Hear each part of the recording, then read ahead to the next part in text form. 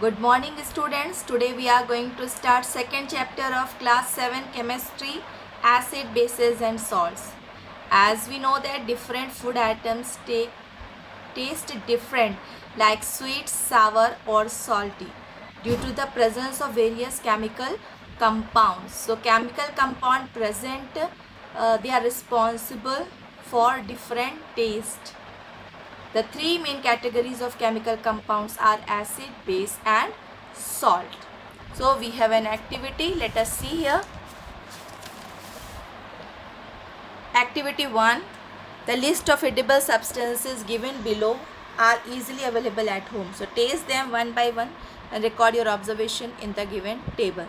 So amla sour taste, banana sweet, baking soda, bitter कड़वा होता है। जितने भी बेस होते हैं, वो कड़वे होते हैं। Cake sweet common salt salty coffee bitter क्योंकि ये भी बेस है। Curd sour onion bitter tamarind इमली sour vinegar sour you will observe that different food items taste different. This activity you have to write in your fair copy also. This is homework for you. Acid they are sour in taste word. Acid is derived from greek word acidus which means sour. Naturally occurring acid are present in some fruits and vegetables which give them sour taste. Example lemon orange tamarind amla. So जो भी fruits या vegetables खट्टे होते हैं, इसकी वजह वह chemical compound है जो उनमें प्रेजेंट है और वो केमिकल कंपाउंड एसिड है। So let us see types of acid acid are broadly classified into two categories organic acid and mineral acid organic acid वो एसिड होते हैं जो हमको या तो प्लांट या फिर एनिमल से मिलते हैं। ऑर्गेनिक वर्ड का मतलब ही होता है प्लांट या एनिमल से मिलने वाले सब्सटेंस जो नेचुरली ऑकरिंग होते हैं। इनमें टू एलिमेंट्स ज़रूर पाए जाते हैं, वो हैं carbon and hydrogen let us see acetic acid जो विनेगर में होता है। विनेगर आप चाउमीन वगैरह में भी यूज़ करते हैं और इसका पिकल बनाने में भी काम आता है जैसे निलॉन्स के अचार बनते हैं।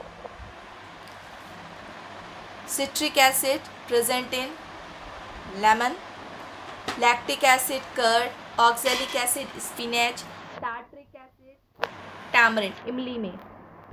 Formic acid sting of bees and and यानी कि जो बरैया है या चीटी है उसके डंक में मिलता है फॉर्मिक एसिड। इसलिए जब हमें चीटी या बरैया काट देती है तो हमको वहाँ दर्द होता है क्योंकि वो अपने डंग के साथ हमारी स्किन में फॉर्मिक एसिड डाल देती है।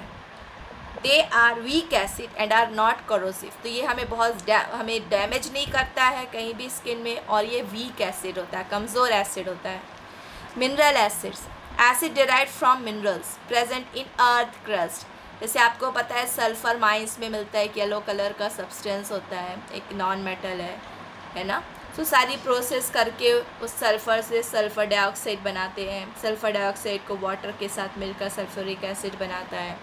इसी तरह से ये सारे मिनरल्स अर्थ क्रस्ट में मिलते हैं। इसीलिए इनको मिनरल एसिड कहते हैं। So these acids are man made and obtained through chemical processes they are sulphuric acid hydrochloric acid nitric acid boric acid phosphoric acid carbonic acid mineral acid are strong acid and are corrosive means ये अगर कहीं गिर जाते हैं तो वहाँ पे निशान छोड़ देते हैं। ये स्ट्रॉन्ग एसिड्स होते हैं और किसी भी ऑब्जेक्ट को नुकसान भी पहुँचाते हैं। जैसे these acid should be handled carefully as they can cause severe burns on contact with skin इसलिए जब हम लैब जाते हैं तो हमें प्रिकॉशन लेना चाहिए कि कोई भी एसिड हमारे स्किन पे ना गिरे। इसीलिए टीचर की प्रेजेंस में एक्सपेरिमेंट किया जाता है और एप्रेन भी पहनने को रिकमेंड किया जाता है। Now depending upon the amount of water present in acid they are classified as concentrated acid and dilute acid concentrated acid acid in which amount of water is minimum